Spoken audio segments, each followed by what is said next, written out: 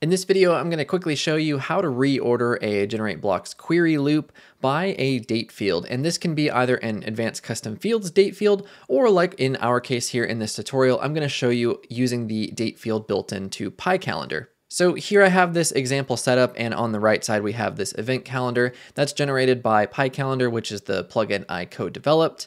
And then we have the GenerateBlocks query loop with our list of posts. Now we can see that we have the date field here and they're out of order. So it goes January 3rd, then February 23rd, February 18th.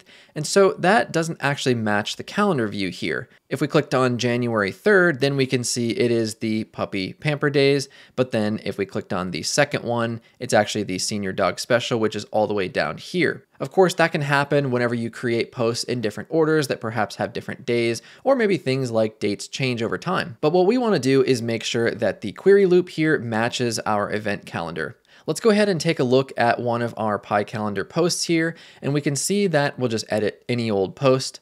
On the right hand side, we have this calendar section that's generated from Pie Calendar, and there's the start date and the end date. So what we're going to do is tell our query loop to actually look at this field here. So it's going to check that it's January 3rd at 10 a.m. And then it will order all of the posts by this start date field instead of when they were actually created in WordPress. So what we want to do here is the first thing we need to do is on our homepage, we're going to open up our query loop. And on this grid, we need to give this a class because our custom code we're going to add here in just a minute will look at the class name and make sure that it reorders the correct query loop.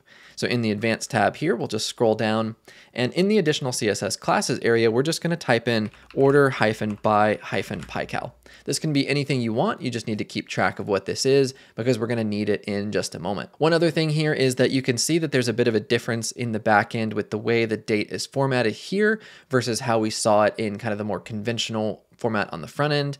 And that's just to do with the way Pie Calendar stores date fields, but you can use the link in the description to find this little bit of custom JavaScript I'm using to reorganize it on the front end for you. So now that we have that custom class, what we're gonna do is go ahead and switch over to this plugin called WP Codebox.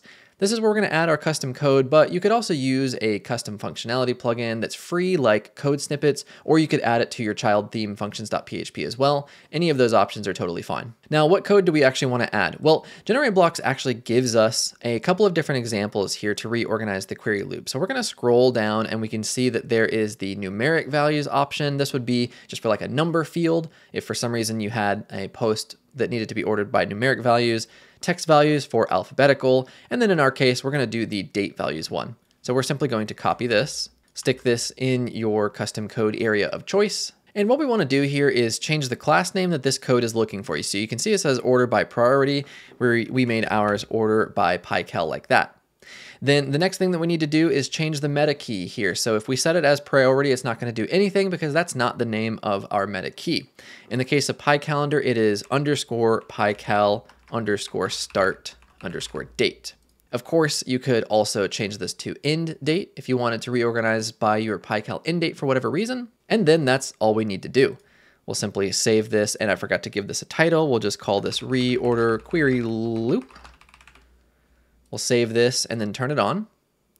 And now let's go take a look. And just like that, you can see that the order is now correct. So the, the second one here is Senior Dog Special, then Valentine's Day, then the Winter Coat on February 18th, Bath and Brush Bash, that's a tongue twister, on the 23rd. So again, if we clicked on January 7th now, we're gonna see the Senior Dog Special, which matches our second item here in the list. So this is extremely handy to reorganize by a date field where you don't have to go move around the posts or use an additional plugin like the ones that allow you to drag and drop. And especially if you're using a custom field from Pie Calendar or ACF, this will allow you to use that to organize your posts rather than the WordPress date.